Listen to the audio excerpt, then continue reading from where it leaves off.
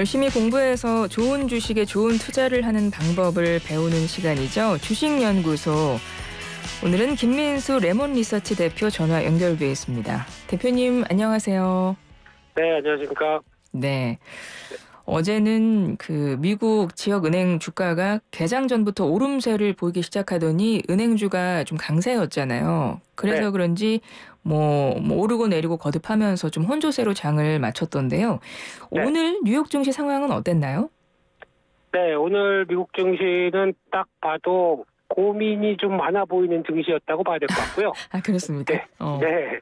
어, 아무래도 저 여러 가지 우려했던 사태는 어느 정도 좀 마무리가 됐다라고 볼 수 있을 것 같은데 그럼에도 불구하고 이게 여기서 끝난 것일까라고 하는 또 근본적인 물음들이죠. 그게 음. 계속 또 나오기 시작하고 오늘 같은 날은 또 이 SVB 관련된 사태를 통해서 어, 의회에서 청문회가 있었습니다. 그때 나왔던 얘기가 어, 은행권에 대한 규제 계속 좀 강화해야 되는 게 아니냐. 그런데 이게 목소리가 나오다 보니까 관련된 은행주들은 이런 얘기 그렇게 썩 또 좋아하지 않겠죠. 네네. 자본주의 사회에서 규제는 어, 필요 악이다라고 음. 생각하는 또 자본주의 추첨단을 달리는 미국이다 보니까 이런 변화가 또 나왔다고 봐야 될 것 같고요. 게다가 또 금리는 다시 안정세를 받다 보니까 올라가기 시작하고요. 달러는 약세를 보이다 보니까 오히려 금이나 또 달러 약세에 따른 유가도 반응하고 원자재 가격들도 좀 올라가고 비트코인이 올라가고 하는 현상이 나오다 보니까 일단 금리가 올라가게 되면 기술주 빅테크 기업들 쪽에서는 또 그렇게 썩 좋은 분위기가 아니겠죠. 음. 그래서 예, 매도세가 좀 처리됐던 부분들, 이게 약간 좀 결론은 다 어, 어떤 일사불란하게 움직였던 초기 반응과는 다르게 지금은 약간 좀 소화하는 과정 중에 변화가 보여지고 있다 이렇게 정리해야 될 것 같습니다. 네, 오늘 뉴욕 증시 어, 고민이 많았다. 고민이 네, 많았다. 이렇게 정리를 네. 해주셨는데 일단 3대 지수 주요 3대 지수는 좀 하락 마감했나 봐요. 그렇습니다. 네. 저 약간 장중에는 그래도 등락폭을 계속 보였지만 어, 그래도 자신감을 보였다면 다 어, 매물 소화하고 또 반전됐을 텐데 아직도 그런 분위기가 아니라고 봐야 될 것 같고요. 그런데 좀 특이한 점은 의외로 그래도 어제부터 미국 증시에 나왔던 변화는 약간 우리나라 증시와도 비슷하게 지수는 좀 묵직한 변화가 나와도 이제 어, 예전에도 말씀드렸지만 러셀 2000 지수에 대한 동향들 그런 보게 되면 약간 중소형주가 조금 더 강한 모습들이 나오기 시작합니다. 어, 그래서 네. 약간 그런 빈자리를 좀 채우는 느낌 정도는 나는데 하지만 뭐 시장의 지수가 또 어떤 방향성을 갖는다 그러면 또 대피처 역할을 하기도 좀 힘들겠죠. 음, 네. 그렇군요. 네. 어, 앞서 오늘 뉴욕 증시 상황 설명해 주면서 잠깐 말씀하셨던 것 같은데 네. SVB 이제 새 주인을 찾았잖아요. 그렇습니다. 퍼스트 시티즌즈 은행이 인수를 하기로 했더라고요. 네. 이렇게 되면서 좀 은행권에 대한 우려는 조금씩 좀 이제 누그러 지는 거 아닌가 이런 생각이 들면서 네. 당분간 좀 은행 부분 이제 안정이 되면서 네. 뭐 은행권 위기가 조금 시장에 악재였던 측면이 있었잖아요. 그렇죠. 그러면 그 부분이 좀 해소됐으니까 앞으로는 네. 증시의 좀 상승세가 좀 보여질까요? 어떻게 보세요? 네. 그런데 이게 이슈가 완전히 끝났다고 보기에는 이제 사람들의 심리가 그렇죠. 아우 이제 끝났어. 이제 본격적으로 뭘 해볼까가 아니라 예. 어, 이제 어, 수습해가는 과정들을 계속 또 지켜보는 모습들이 나온다고 봐야 될 것 같고요. 음. 특히 이번에도 그 가장 먼저 이제 적극적으로 칼을 빼든 거는 이제 연준과 그리고 또 재무장관께서 이제 직접적인 자금 투입과 뭐 예금자 보완도 쪽을 확 펼치기 시작하면서 어 리스크가 벌어지면 충분히 감내하겠다는 부분을 먼저 보여줬고요. 또 그러면 두 번째로는 어떤 파산이나 아니면 어 심각한 리스크를 갖고 가는 은행들을 이제 어 민간 쪽에서 우리가 인수할게라고 하면서 들어오는 과정들이 보이는데 근데 이 내용들을 잘 보게 되면은 민간 쪽에서는 오히려 꼭그 민간 그러니까 인수하는 은행 같은 경우는 어 달한 쪽으로 보여지는 게 맞겠죠. 예, 어떻게 어, 이런 사태를 통해서 생각보다 좀 헐값에 그리고 반대로는 싼값에 예 매수를 할 만한 쪽이 나오다 보니까 이런 인수도 좀 빠르게 이루어지는 게 아닌가 하는 음. 쪽도 보여지는데 퍼스트 시티즌즈 되게 급등하지 네. 않았어요 주가 자체가. 그렇죠. 네. 어, 어, 우리가 하네 라는 생각이 들면서 어, 매수자가 몰린 측면들은 있는데 근데 또 이런 또 주가의 변동성이 크다 보니까 저 서학개미라고 하죠.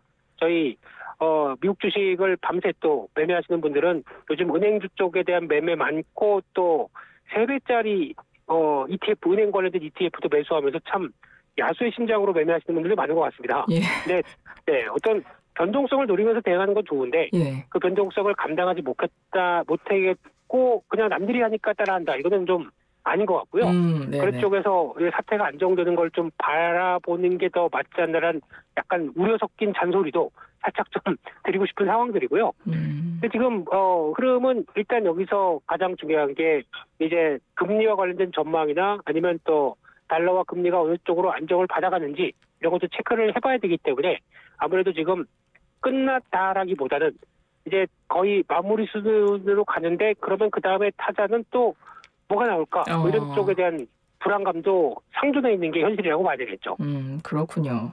네. 은행주는 어찌됐건 지금 조금씩 뭐 이제 안정세를 되찾는 상황 속에서 어, 이제 투자자들은 상황을 지켜보면서 어, 그러고 있다. 이제 이런 고민 중이다. 이제 이런 말씀을 해 주셨고요.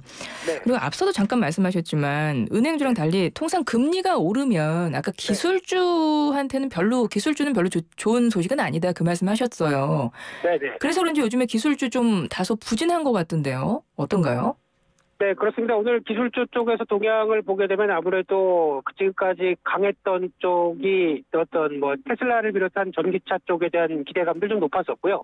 게다가 또 그 다음에 AI 쪽의 반도체 쪽을 아무래도 키우겠다라고 하는 입장들이 큰 뭐 엔비디아나 AMD 쪽의 중심으로 강한 변화가 많이 들어왔었는데 근데 엔비디아 같은 경우도 벌써 어, 기술주임에도 불구하고 직전 고점대 부분까지 스멀스멀 다 올라가다 보니까 차익 매물도 좀 나오는 변화라고 봐야 될 것 같고요. 그런 쪽에서 어, 기술주에 대한 동향들도 일단은 좀 많이 오른 종목들은 약간 경계감이 좀 있어 보이는 것도 있다고 봐야 될 것 같고요. 게다가 또 오늘 어, 또 우리나라와 또 시가총액 상위 종목들과 또 똑같이 연결시켜서 봤을 때 어, 볼 수 있는 마이크론 테크놀로지라고 하는 메모리 반도체의 글로벌 시장 점유율 3위 업체가 네. 실적을 발표했습니다. 예, 예. 예, 그래서 이걸 통해서 3위 업체에 대한 흐름을 보고 이제 삼성전자나 전자나 SK 하이닉스도 다음 달이죠 실적 발표할 부분을 좀 유추를 할 수 있는 상황들이 들어왔는데 이 메모리 반도체 쪽도 업황 안 좋은 건 다 알고 있는 사실입니다. 그래서 지금 어, 실적도 생각보다 예상보다 더 부진해서 적자 폭도 키우고 13년 내 최악의 침체기를 보이고 있다랄 정도로 우리 구조조정 필요하고 감산도 50% 해가겠다라는 얘기를 하다 보니까 좀 어두운 건 사실인 것 같고요. 음, 게다가 또 어, 고객 재고도 점진적으로는 개선될 것 같다라고는 하지만 아직 뭐 보여준 게 없는데 하지만 얘기했던 것 중에 중요하게 체크해야 될 게 첫 번째가 2025년 가게 되면 그러니까 즉 내후년이죠. 네. 이 메모리 반도체는 초호황을 보일 것이다라고 전망을 했던 부분들인데요. 아무래도 AI가 확대되기 시작하면서 나오는 반도체에 대한 사이클로 봤을 때는 어 조금만 기다리면 어 또 장밋빛 전망을 볼 것이다 이렇게 얘기하는 부분들이 눈길이 갔고요. 예. 또나 두 번째로 메모리 반도체의 사이클을 생각했을 때 지금 뭐 최고 수준까지 올라와 있는 재고 얘기를 많이 하고 있는데 재고 자산이 자세히 보니까 지난 분기 대비해서 한 10% 하락했습니다. 음. 그렇다는 얘기는 지금 업황이 안 좋고 부담된다고 하더라도 아주 극도의 위축되는 업황들은 아주 미세하게나마 조금씩 개선되는 변화가 나오지 않나라는 쪽에서 이 재고 자산의 변화도 한 번쯤은 체크해야 될 부분이 아닌가 싶습니다. 네. 이번에는 이번 주에 투자자들이 주목하고 있는 좀 이슈가 있는 것 같아서 그거 좀 여쭤볼게요. 네. 이번 주 후반에 어, 연방준비제도 연준 뭐 이제 인사들이 어떤 네. 발언이 지금 예정돼 있다고 하고요. 그리고 31일에 미국의 2월 개인 소비 지출 PC 물가 지수가 발표된다고 하더라고요. 네. 예, 이런 것들 좀 투자자들도 주목하고 있는 이슈 맞죠? 네, 맞긴 하지만 아직 그 FMC 회의가 3월 달에 열렸고 4월 달은 없습니다. 예. 네, 그러다 보니까 아마 언 지금 나오는 위원들의 발언이라든가 지표들도 좀 임박해서 나오는 지표들을 좀 정리하다 보니까 그렇게 시장에 뭐 민감하게 영향을 끼치지는 않지 않을까라는 음. 생각이 들고 있고요. 특히 이제 연준 위원들 같은 경우도 지금 입장은 그럴 겁니다. 여러 가지 어, 이번 은행 미국의 은행 사태를 바라보면서 지금 급하게 물가를 잡기 위해서 금리를 올려왔는데 막상 올리고 보니까 이제 여러 가지 부작용들이 나오는 부분에 대해서 연준 위원들은 어떤 시각을 갖고 있느냐라는 쪽이겠지만 네. 하지만 부작용은 감수할 수 있다라는 쪽으로 언급을 지금까지 많이 해왔고요. 그리고 또 게다가 이를 통해서 어느 정도 물가를 잡는 쪽에 계속 포인트를 맞추겠다라고 하는 약간 매파적인 성향들이 좀 많은 게 현실적인 부분이고요. 그런 걸 감안하게 되면 아무래도 지금 뭐 금리에 대해서는 뭐더 더 올린다 안 올린다보다 지금 상황에 대해서는 어 컨트롤 가능하고 여전히 지금 물가 상승 압력들이 크게 하락하지 않게 되면 금리 올리겠다고 하는 부분들 계속 나올 걸로 봐야 될 것 같고요. 예. 예, 게다가 또 말씀하셨던 PC 지표들은 어 저희가 보통 얘기하는 CPI보다는 조금 더 광범위한 또 세부적인 내용들이 좀 많다 보니까 연준이 좀 더 챙겨보는 지표입니다. 예, 예. 그런데 이쪽에서 이번에도 자세히 보게 되면 아마 주택 관련된 쪽에 대한 지표들을 많이 챙겨볼 것 같고요. 음. 이쪽이 아무래도 생각보다 좀 넉넉하게 아마 지금 빠르게는 한 4월달, 5월달부터는 좀 하락 속도가 빠를 걸로 얘기를 하고 있는데, 그러니까 즉 주택 가격의 중위권 쪽의 변화들은 이제 벌써 꺾이기 시작하는 모습들이 나오다 보니까 이를 반영하는 속도가 좀 늦어서 그렇지 반영하기 시작하게 되면 물가에 대한 어, 어떤 하락 속도는 꾸준하게 진행되지 않을까라고 바라보고 있습니다. 음, 그렇군요. 네. 어, 잠시 후에 이제 국내 증시를 여쭤볼 텐데, 네. 에, 요거 하나만 여쭤볼게요. 요런 상황 속에서 이제 시장의 은행 위기 또 이제 물가 인플레이션은 아직 끝나지 않았기 때문에 조금 더 상황을 주시할 것 같은데 좀 뭔가 계속 눈치 보고 살펴보고 갈팡질팡하고 그런 와중에 요럴 때 유독 잘 나가는 섹터 있나요 지금? 아우 뭐 요즘엔 2차 전지 안 갖고 있으면 주식하는 사람 맞아? 라고 얘기할 정도죠. 네, 어. 그래서 시장의 가장 뜨거운 쪽은 어, 연초부터 2차 전지 쪽 계속 어, 강하게 움직였고요. 또 그 사이에 좀 어, 한국 시장의 특성이라면 특성이랄까 할 수 있는 성장주에 대한 개념들이 지금 주구식의 어떤 기틀을 잡고 있다라고 봐야 될 것 같고요. 음, 근데 이 부분은 보통 이제 저희가 그좀 가치 투자를 한다는 입장 쪽으로 봤을 때 어, 실적이 이렇게 쌓고 좋고 자산도 이렇게 어, 우량한 거 갖고 있기 때문에 이런 회사들을 사겠다라고 했을 때는 전혀 안 움직입니다. 오히려 더 음. 하락하죠. 네네. 그런데 지금 이제 성장 value 즉 이런 인플레이션 시대에 어, 물가도 오르고 모든 게 다 오르는 시대면 당연히 비용이 늘어나다 보니까 기업들이 실적이 안 나옵니다. 음, 그런데 성장주라고 하는 쪽은 그럼에도 불구하고 성장을 한다. 네. 또 앞으로 투자한 게 있기 때문에 1년 뒤 가게 되면 성장이 열릴 것이다. 라고 보는 확실한 성장에 대한 개념을 보여주는 종목들이 이런 시대에 성장주가 좀 희귀, 희귀하게 된 거죠. 음, 그러다 보니까 더 이렇게 좀 2차 전지나 아니면 뭐 AI 로봇 관련된 종목들이 더 부각을 받는 현상들이 지금 이어지는 게 아닌가 생각이 되고 있습니다. 음, 그렇군요. 그럼 네. 국내로 좀 와보겠습니다. 일단은 오늘 국내 증시 흐름은 어땠나요?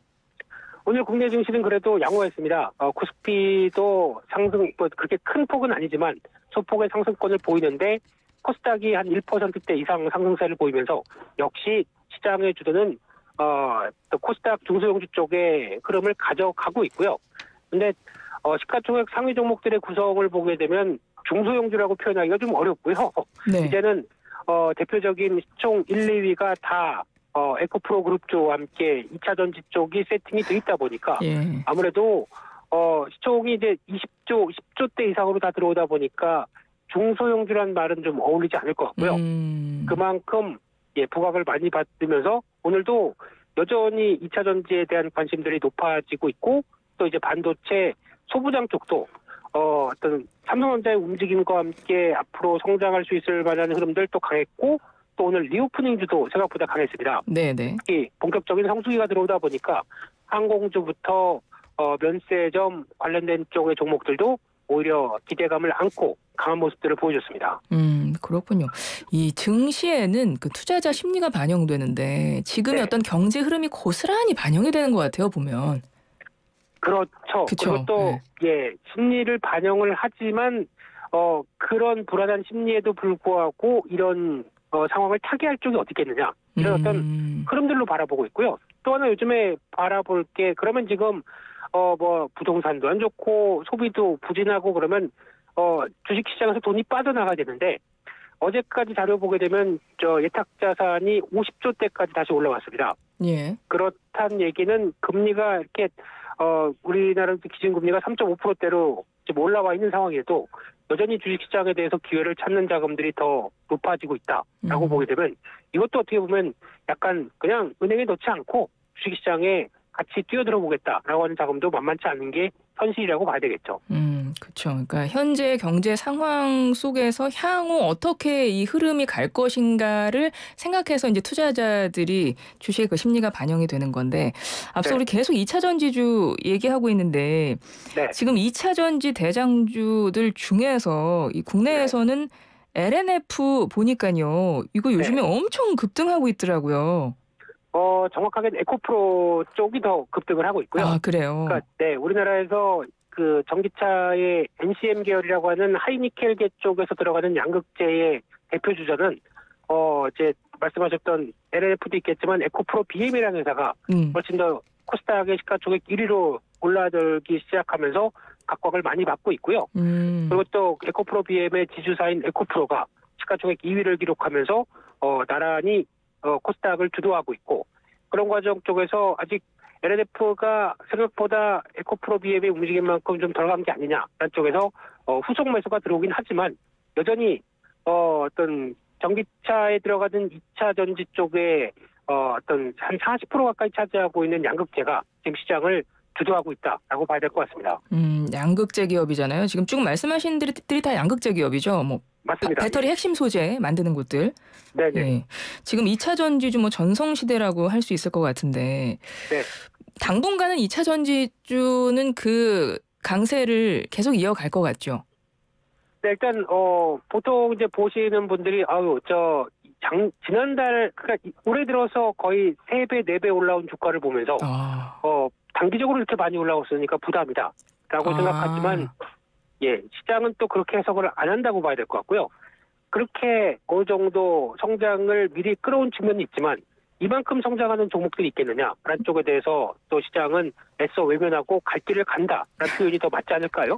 네. 그렇군요. 아, 지금 말씀하셨는데 아 이만큼 또 성장할 주가 있겠느냐 이제 이- 이런다고 했는데 근데 네. 2차 전지 이미 너무 많이 급등을 했고 만약에 지금 2차 전지주 갖고 있는 사람과 갖고 있지 않은 사람의 격차는 뭐 지금 어마어마하다라고 뭐 지난 시간에도 말씀을 해주셨는데 네네. 근데 이제 2차 전지주 뭐 이미 들어가기는 늦었잖아요. 안 들어가신 분들은.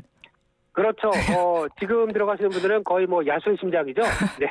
그래서 어, 네. 그래서 혹시 어떤 2차 전지주 외에 눈여겨볼 네. 만한 업종이 혹시 있을까요? 한 1분 정도 시간 남았는데 네. 좀 꼽아주시면 네, 안 어려운- 돼요? 네. 네, 어려운 질문이지만 그래도 업황의 사이클의 저점을 본다. 그러면 네. 반도체가 맞겠죠. 아 반도체요? 예. 음. 적자 많이 나고 이렇게 힘든 상황이라고 하더라도 어, 결국에는 턴할 거 아니냐. 앞서 마이크로 테크놀로지의 실적 말씀드리면서 한 1, 2년만 지나면 초호황이 온다라고 생각하게 되면 안 좋다 그럴 때 또 담아놓는 것도 하나의 투자겠죠. 음. 이상입니다. 아 그렇습니까? 어, 네. 그럼 반도체주는 그럼 지금은 반도체주는 앞으로 향후 더 많이 오를 가능성이 있다 이렇게 보시는 거군요. 당장은 업황의 저점을 찾느라고 왔다 갔다 할 겁니다. 아. 그렇다고 크게 더 밀릴 가능성은 좀 제한적이라고 봐야 될 것 같고요. 워낙 어, 좋을 때는 주가가 빠지고 안 좋을 때는 견디다가 좋은 걸 바라보고 움직이는 사이클을 있는 업종이기 때문에 음. 이럴 때는 안 좋을 때 사는 게 더 맞지 않나라는 관점으로 바라보고 있습니다. 음, 예. 2차 전지주 못 들어가신 분들 좀귀 기울여서 들어봐 주셨으면 좋을 정보 알려주셨네요. 네네. 예. 대표님 오늘 주식연구소 여기까지 하겠습니다. 오늘 말씀 잘 들었습니다. 고맙습니다.